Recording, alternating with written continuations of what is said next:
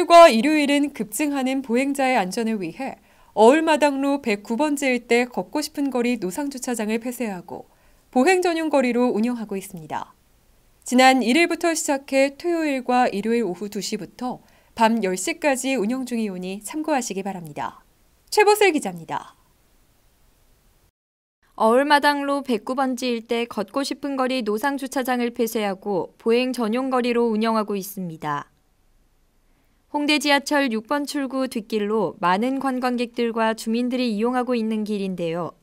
마포구 어울마당로 109번지에서 126번지 일대를 토 일요일 오후 2시부터 밤 10시까지 보행자 전용 거리로 운영하고 있습니다. 12월 1일부터 시행해 운영 중에 있으며 해당 시간에는 주차장 폐쇄로 불법 주차 시 단속 및 견인 조치를 하고 있습니다. 보행자들의 안전을 위해 시행되는 만큼 관내 주민들은 많은 협조 부탁드립니다. 기타 관련된 자세한 사항은 마포구 시설관리공단 주차사업팀 또는 마포구 교통지도과로 문의하시기 바랍니다. 마포투데이 최보슬입니다.